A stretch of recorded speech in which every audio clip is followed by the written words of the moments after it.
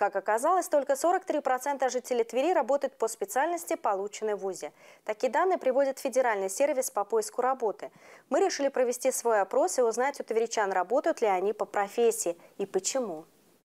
По данным исследования, менее 50% тверичан работают по своей специальности, 22% заняты в смежных областях, 35% респондентов работают не по специальности вовсе. Например, Майя по профессии связист. По специальности работала только 4 года, сейчас работает в торговле. Потому что так получилось. Жизнь была и все такое, и пришлось бросить. А где сейчас работать? Где можно поработать сейчас, то заработать пару копеек? Сейчас работать сложно.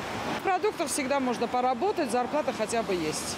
Количество тех, кто занят в сфере, соответствующей полученному высшему образованию или в смежной отрасли, больше всего среди горожан зарплаты от 100 тысяч рублей в месяц, 53 и 27 процентов соответственно. Среди представителей распространенных профессиональных групп больше всего тех, чья работа соответствует полученному образованию, среди врачей, юристов и бухгалтеров. И, например, экономист Ирина как раз работает по профессии.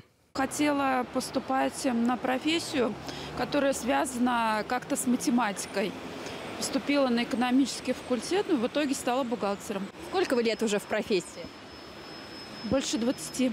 Оксана училась на юриста и сразу после окончания вуза пошла работать по профессии.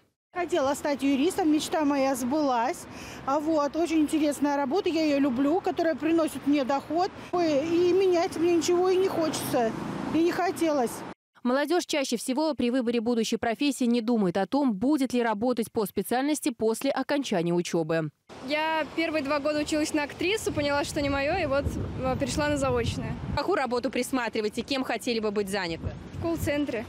А почему? Ну, мне как-то так легче особо не коммуницировать с людьми. Планируете работать по специальности или все-таки нет? Пока не знаю, не могу сказать. Существует старая поговорка. Если вы пытаетесь выбрать профессию, нужно думать о том, что бы вы делали, если бы вам не нужно было работать. Поэтому очень важно найти свое призвание и работу по душе, чтобы вам ни дня в жизни не пришлось работать, превозмогая себя.